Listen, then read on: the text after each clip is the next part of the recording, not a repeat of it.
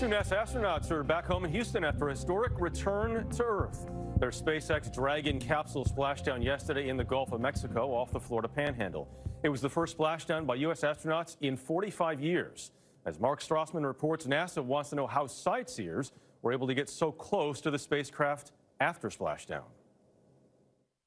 After 64 days in space, astronauts Bob Behnken and Doug Hurley reunited with their families Sunday night. To be where we are now, the first crewed flight of uh, Dragon is just unbelievable.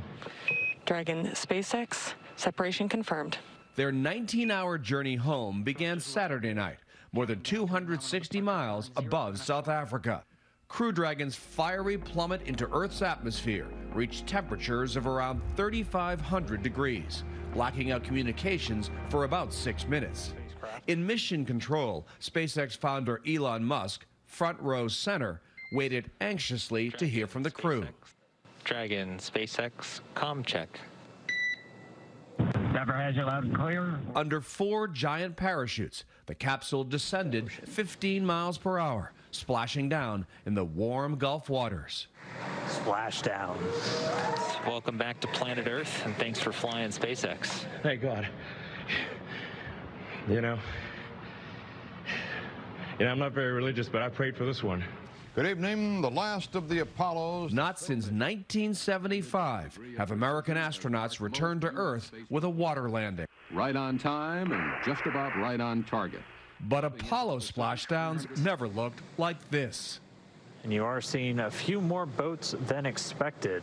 More than a dozen recreational boaters swarmed the capsule, ignoring Coast Guard warnings as crews tried to recover it and the astronauts inside. Uh, something like this just really can endanger the whole thing. NASA Administrator Jim Bridenstine. So that, that was uh, not what we were anticipating. The boats just made a beeline for it. There are things that we're going to look at that we can do better next time for sure. Dragon looked like a giant charred marshmallow as it was hoisted aboard a SpaceX recovery ship. Behnken and Hurley were pulled from the hatch. All okay. Before their launch in May, we talked to them both about the mission. It will open a new era, commercial spaceflight. Does it mean something to you guys in this new age to be the first?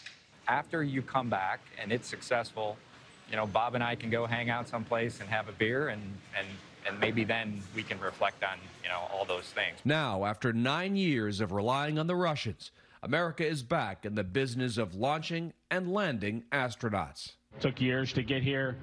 We brought the capability back to America, and we came home safely to our families. Time for that beer Hurley talked about. We can all toast to that. For CBS This Morning, Mark Strassmann, Atlanta.